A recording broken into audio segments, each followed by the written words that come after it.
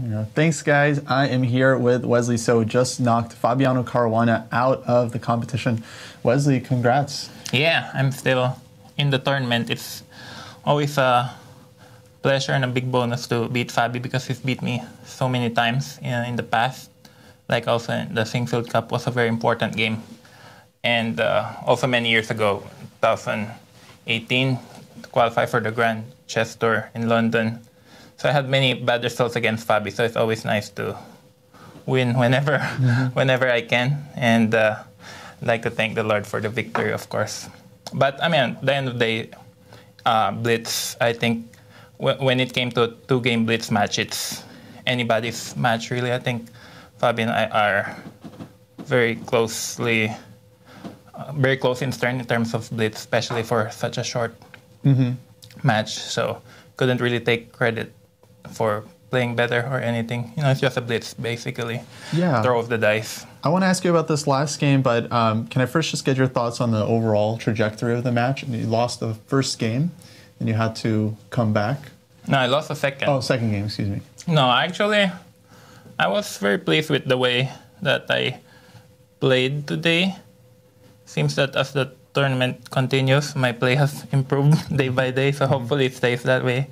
Um, well, uh, the first game he played this knight e2 Nimzo, which is quite surprising. I played it with white also, and I thought it's nothing for white. Uh, maybe he was slightly better.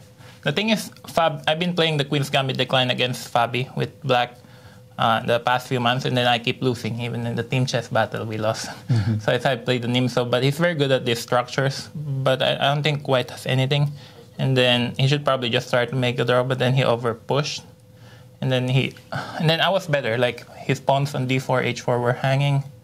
I'm sure that unless I'm crazy, I'm sure there gotta be a, oh, a win for black there somewhere. So I was I very believe, disappointed. Yeah, you were winning that. Uh, yes, I was. I was very disappointed because uh, he overpushed and mm-hmm. then I outplayed him. And then if you win with black in any match, then you're well on your way to victory. And then the second game, uh, I decided to play this new opening, but I should just have taken the draw start in the end game or repeated moves. Like he was playing so quickly. He had 10 minutes and I had four. It's just he's got very good time management the entire match. So and then he played very well. In the end, he found this rook d8, king b7, which I think is very difficult to spot. Mm-hmm. But for him, it's easy. and then the third game, what was the third game? Oh, yeah, the third game was just I basically had to win with the white pieces, which is never ideal. Somehow I, I managed. And then the fourth game, I just decided to take it to the blitz. So, mm-hmm. I mean, the third game, I shouldn't have won because I played knight g1, he had rook h2 in the end. Right. But, uh, uh, yeah, I have to have to take my chances. So it's it's nice that I won. It's not really. Yeah. What? Um, I just want to ask you about this last uh, blitz game here. We'll get the board up on the screen in just a moment. Of course, um, Fabi's a point behind, so he plays the King's Indian, has to win. You had a big advantage. Yeah, knight of d7, move 7 was a, bad start.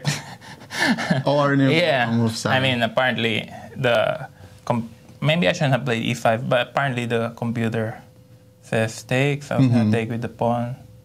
The knight g4. I don't know how strong this computer is, but apparently, yeah, I miss he has queen d7 here. Oh, okay, and then. Yeah. It turns and, out this is kind of all right for black. Yeah. yeah, and then black could be even a little bit better, or maybe it's just equal. But maybe I shouldn't have played e5 because uh, I mean knight takes is okay and it's very hard to lose. But um, yeah, again it's it's blitz. Like after knight d7, it's just a very bad position for black mm-hmm. because like some Alekhine defense where he wasted time moving the knight, but also the queen is in a bad spot.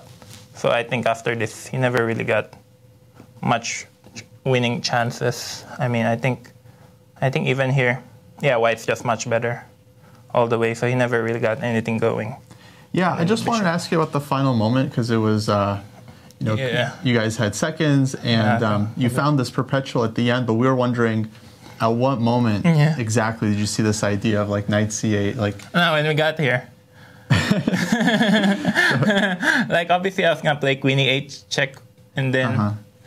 but the thing is like I was pretty sure I mean I could just push the C pawn obviously but then I, I didn't see bishop d3. But I knew I had a perpetual at the very least because even if I play like queen, uh, queen e7, queen f4, okay.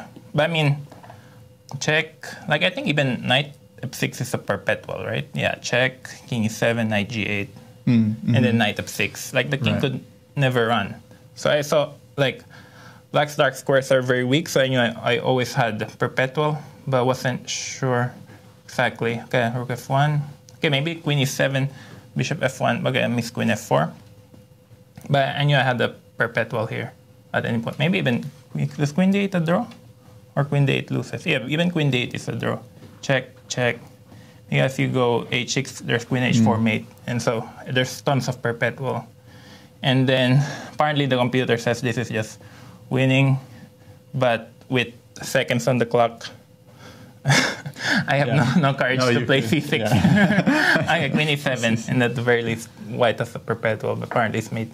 Right. But I mean, um, yeah, with two second increment doesn't really do anything, just prevents you from losing on time. Actually, against Ray, I fell asleep even with 10 seconds on the clock. So. All right. Well, um, next up, you'll be having the rematch with Ray Robson. We'll wish mm-hmm. you the best of luck in that match. Yeah, I'm eager for revenge. I'm gonna, gonna if Ray's listening, I'm going to try and flag him tomorrow. Every game. it worked in the St. Louis Rapid and Blitz. I, I think I flagged him in the in the Blitz. Yeah.